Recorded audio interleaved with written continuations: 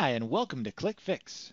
In this video, I'm going to explain an important configuration detail when reloading apps on QlikView Server that contains section access. I have a simple example document to demonstrate this behavior. In the script, we load three tables. The section access table, this is who the users are, their access rights, and a reduction field, or how the data set should be reduced for that user.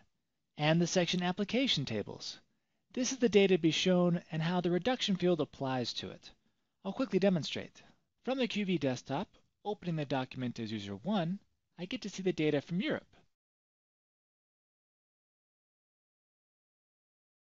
As user 2, I get to see the data for the US. Logging in as admin will show all values. I'm closing the QV desktop each time to clear out the cache to be able to log in as a different user.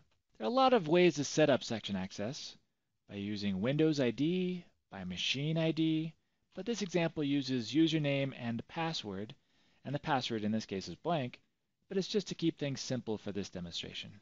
You have all the data in the document, but you only get access to a portion of it depending on who you are. That's the concept. Now, anytime you want to reload a document that contains section access script on QV server, you have to give the server a way to open that document.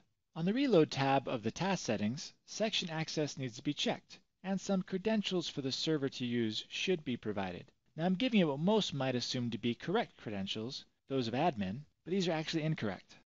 I'll make this task distribute to the server, all authenticated users in the user document folder, a simple trigger,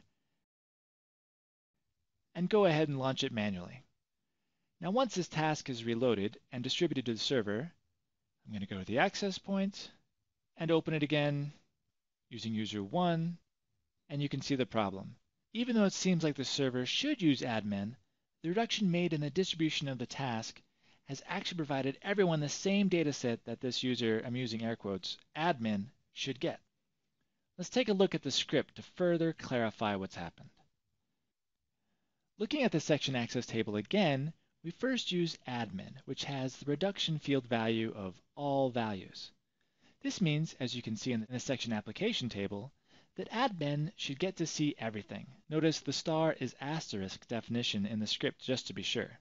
We should be using a user credential that exists in the section access table, but with no reduction field value. In my example, to make things very clear, I use this user credential pub admin, as in publisher admin, with reduction field value no reduction. This reduction does just that because the value doesn't exist in the section application table.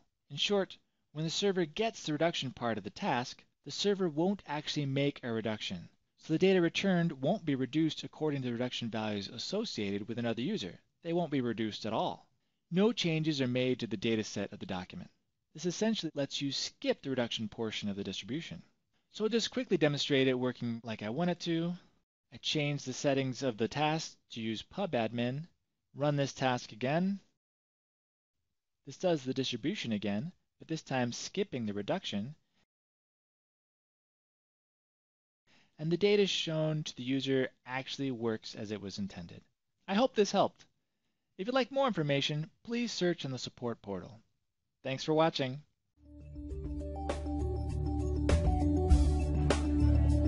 Nailed it.